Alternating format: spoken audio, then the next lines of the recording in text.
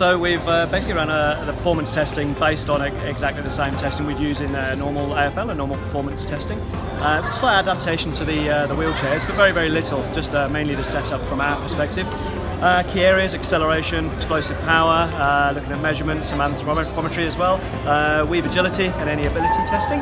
So yeah, just brought everything that's not done normally to, to the AFL draft, just adapted to the wheelchairs.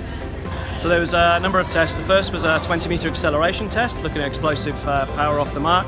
Uh, second and third were both a 505 agility or change of direction test, see how they can technically move the, uh, the chairs. Uh, the third was a weave agility, very much about agility styles. Uh, we've done some measurements too, uh, and the final one was the yo-yo. So that's looking at their intermittent recovery in gameplay to see how far they can last in a game. So the, the data we're, uh, we're actually working with, this is the first time it's actually been done, so we're actually setting some benchmarks now, uh, looking at all, again, the, the primary um, the physiology uh, measurements of, of, what's going on. The data will now be transferred to each of the athletes, so they can actually get an understanding of where they stand as an individual, and we'll be looking more collectively from a benchmarking perspective and talent ID as to where we can find some improvements.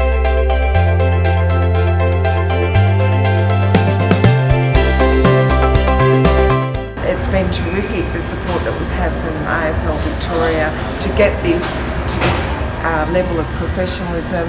And it also brings an additional exposure to have a day like this to get more applicants along uh, they start to talk about it. And it really is gaining some traction now and we hope that everybody understands that this is we're here for the long long term, this is, uh, you know, we want this just build and get bigger and more popular um, every day, every week, every year.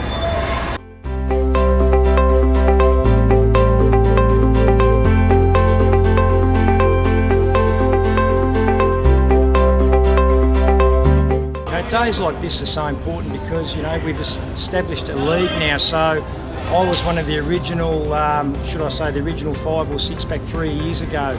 And from our first day of tryouts, there was only, you know, five or six guys. Never in my, you know, never could I believe that three years down the track would actually um, have established a league in the AFL and a competition of, you know, five very strong teams. So to have a day like this, to have the amount of people turn up and try, uh, it, it does wonders for disability sport and sport um, as a whole, as far as it being inclusive of the AFL and the league. So, an absolute fantastic day for our sport of wheelchair AFL.